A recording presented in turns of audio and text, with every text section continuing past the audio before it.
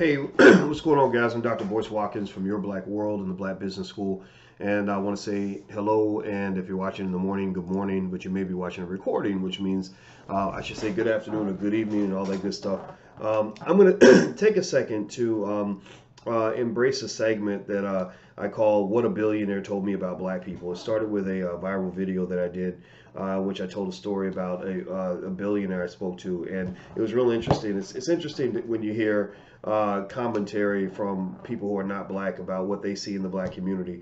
Um, I, you know, I know a lot of people get offended by that stuff. I used to get offended when white people would talk about us or whatever, or or give advice. You know, it is kind of sending a little patronizing, but it didn't bother me. I just because I don't take it personal. Uh, ra- racism doesn't usually. I don't let racism trigger me like that. Uh, I think that when you let things trigger you, you're giving power to your oppressor and all that good stuff. Like, well, bad stuff. I, I don't think it's good at all to, to give that much power to your oppressor. So, you know, so I'm the guy where if you hang a noose up, you know, in my office or something to try to scare me, I'm gonna go hang it up in your office. and if it don't scare you, then it don't scare me. So I that, that stuff don't bother me. But anyway, um, uh, I put up um, a little article yesterday where I was basically explaining a principle that I believe in that I think will help black children to actually not just close the wealth gap. I don't really care about closing gaps. I care about us being our best.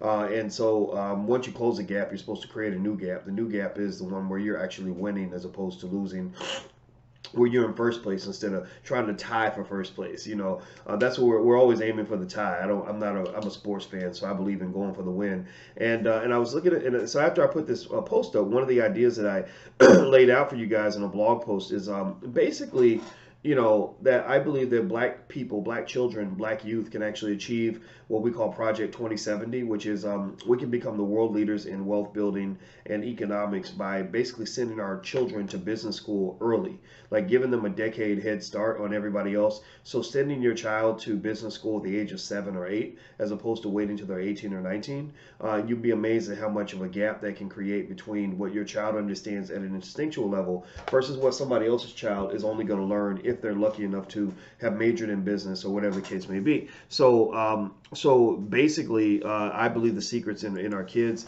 and I think it's not just the kids; it's also the grandkids, right? Because the kids, what we teach the kids is what they're going to teach their kids, and that's why I predict by the year 2070 we can actually lead the game because that'll be about the time our grandkids are hitting full stride and becoming, you know, whatever they're supposed to be. It depends on what age you are, but